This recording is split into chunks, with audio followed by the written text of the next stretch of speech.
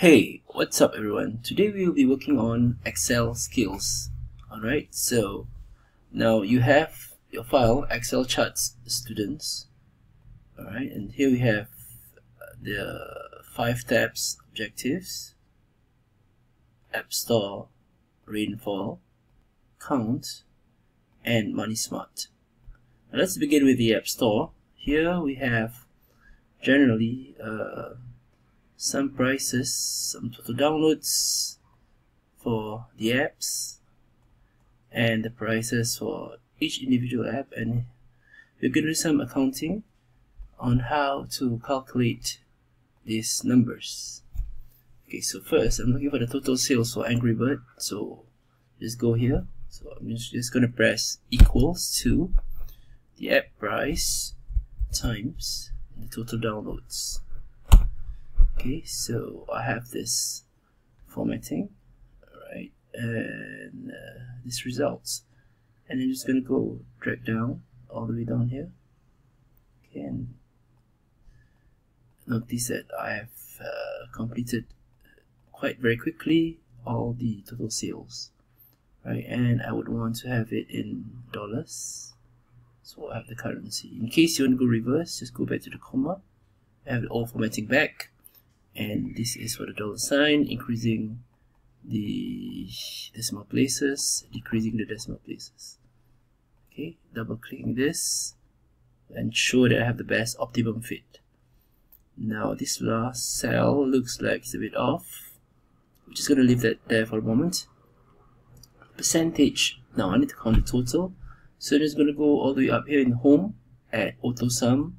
I'm just going to go to sum so automatically it highlights this range of cells. So I'm just gonna re-highlight again because I'm just gonna stop from EU3 to E12 right? And just gonna go press enter.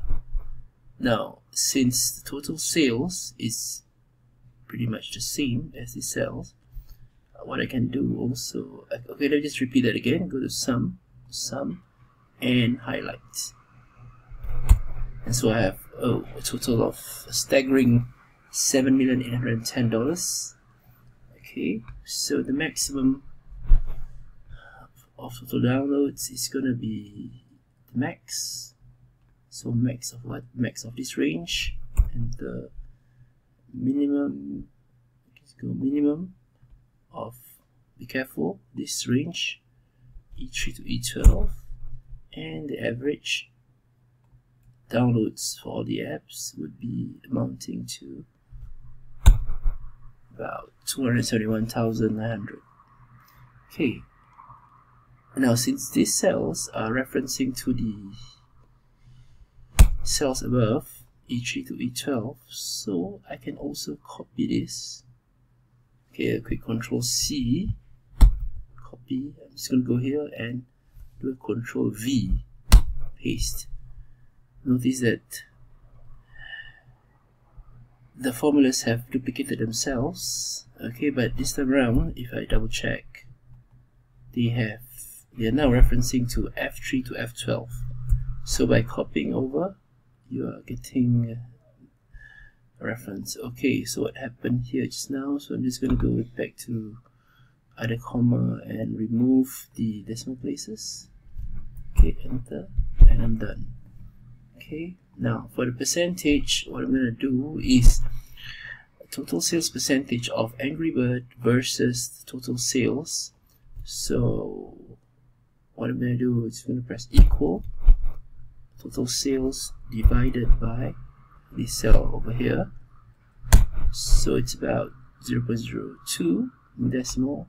So percentage wise let's go the percentage. It's about 3% let's say I want it to be in one decimal place. Okay I'm done 20% so let's say I try and drop. Ooh, we made some mistakes here. Why? Now because when you copy this down notice that F18 the reference cell has gone down but for column app alright F7 is correct but F18 is wrong.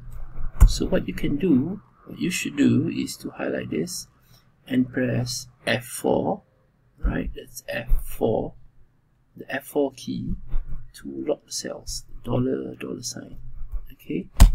By doing that we are locking the cell here F14 for each of them okay?